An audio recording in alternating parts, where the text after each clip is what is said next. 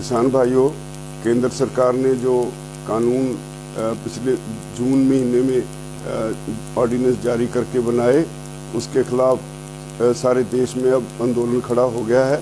और आंदोलन जब अपनी शिखर पे पहुँचा तो आपने देखा होगा कि कैसे सरकार ने अपने हथकंडे इस्तेमाल करके इस आंदोलन को तोड़ने का हर यत्न ही नहीं किया और इसको एक गहरी चोट पहुंचाई। ये बात आपके समझने की की है कि हमारे लिए एक बैरिकेड लगाया गया जहाँ से आगे हम नहीं जा सकते थे।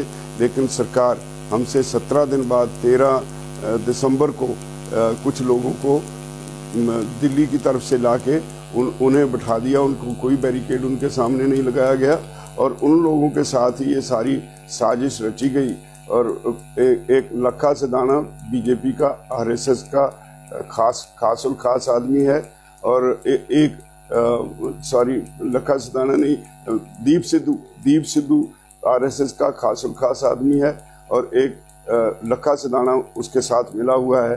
उन्होंने पंजाब किसान मजदूर संघर्ष कमेटी के नाम पे जो एक जथेबंदी बनी हुई है उन लोगों से सांठ गांठ करके इस सारे आंदोलन को गहरी चोट पहुंचाई है। हमने 25 तारीख को उस किसान संघर्ष कमेटी के अगुआ सर सरवण सिंह पंधेर से लंबी मुलाकात करके उनसे बार बार प्रार्थना की कि इस आंदोलन को बचाओ, सारे इकट्ठे होकर लड़े, लेकिन वो नहीं माने। और रात को 10 बजे पुलिस के उच्च अधिकारी उनसे बात करके जाते हैं और सुबह उनको हमारे से पहले ही लाल किला की तरफ़ तोड़ देते हैं। जब हम अपने रूट पे चले तो हमारे लिए पुलिस सामने खड़ी होके रूट एक तरह से बंद कर दिया। हमारे बार बार कहने के बावजूद वो कहते रहे कि सीधे चले जाओ। लाल किले की तरफ़ पुलिस खुद भेजती रही। हर नाके पे यही हुआ और पुलिस सरकार एक्सपोज हुई। जिस तरह से लाल किले पे झंडा फहराया गया, इतना लंबा समय पता नहीं पुलिस कहाँ थी और पता नहीं आज जो बदनाम कर रहे हैं संघर्ष को, वो लोग कहाँ थे? कौन से लोग थे जिनसे उन्होंने ये झंडा फहराया? और नेशनल फ्लैग की बेइज्जती की गई। हमें इसका बहुत खेद है। हमने, हालाँकि हमारी इसमें कोई गलती नहीं, क्योंकि आंदोलन की शुरुआत हमने की थी। इसलिए कल हमने प्रेस कॉन्फ्रेंस करके इसके लिए भी अपनी इखलाकी जिम्मेवारी समझते हुए माफ़ी मांगी देशवासियों से कि अगर किसी ने भी इस आंदोलन का नाम लेके नेशनल फ्लैग की बेअदबी की है तो हम उसकी उसके लिए हमें खेद है। तो इस इसके अलावा तरह तरह की अफवाहें फैलाई जा रही हैं।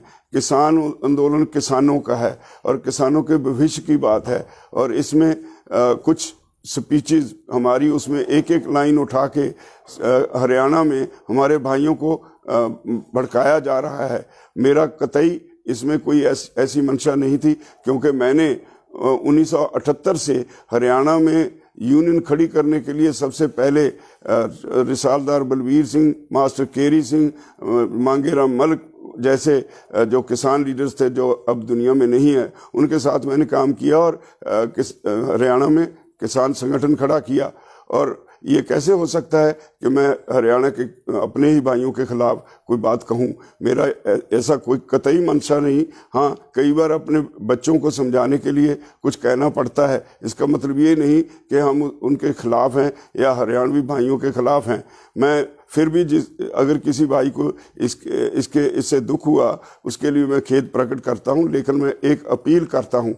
ये आंदोलन बहुत तेज़ी से आगे बढ़ा है। आगे बढ़ रहा है और ये इससे हमारी भविष्य की किस्मत जुड़ी हुई है। इसलिए मेरी निवेदन है, ये बातें सब भुला के अगर आपको कष्ट हुआ, उसकी क्षमा करके सभी दोबारा फिर इस आंदोलन में उसी जोशो खरोश से शामिल हों।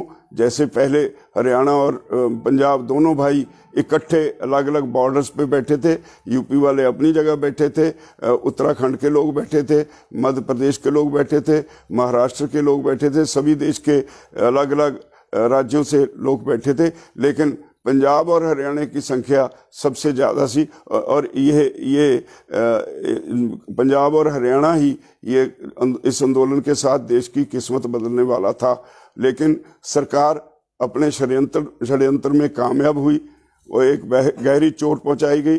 हम सभी इस घाव से अभी तक जख्मी हैं और उस, इसी दशा में कई बार कई बातें मुँह से निकल जाती हैं। मैं समझता हूँ मेरे सारे भाई हैं, हरियाणा वाले, वो मेरी इस बात को समझते हुए, मेरी इस स्थिति को समझते हुए दोबारा इस आंदोलन में, गांव-गांव में प्रचार करके लोगों को इसमें और तेज़ी से, पहले से भी ज़्यादा ज़ोर से इसमें शमूलियत करें ताकि सरकार अपने षड्यंत्र में कामयाब ना हो सके।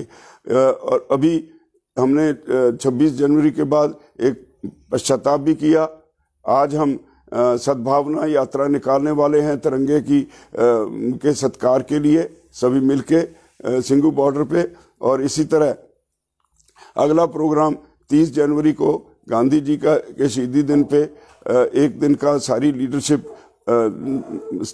अनशन करेगी। और पहली जनवरी का प्रोग्राम फ़िलहाल इसीलिए क्योंकि कन्फ्रंटेशन का माहौल सरकार बना रही है इसीलिए हमने पोस्टपोन कर दिया है। तो मेरी सभी भाइयों से निवेदन है मेरी इस बात को गंभीरता से लें। आंदोलन बहुत बड़ा है। आंदोलन आपके भविष्य का आपके बच्चों का आप, आपके परिवारों का उन, सब के लिए है और उनके उनके भविष्य को तय करेगा। इसलिए ये छोटी बातें मैं बहुत छोटा आदमी हूँ आंदोलन के मुकाबले। अगर किसी को दुख हुआ है तो मेरी मेरे मेरी बातों से नाराज़ होके आंदोलन को मत बिगाड़ें। आंदोलन को उसी सतर पर फिर लेके आए। मैं उम्मीद करता हूँ कि सभी भाई मेरी इस बात बात को ज़रूर मानेंगे। धन्यवाद।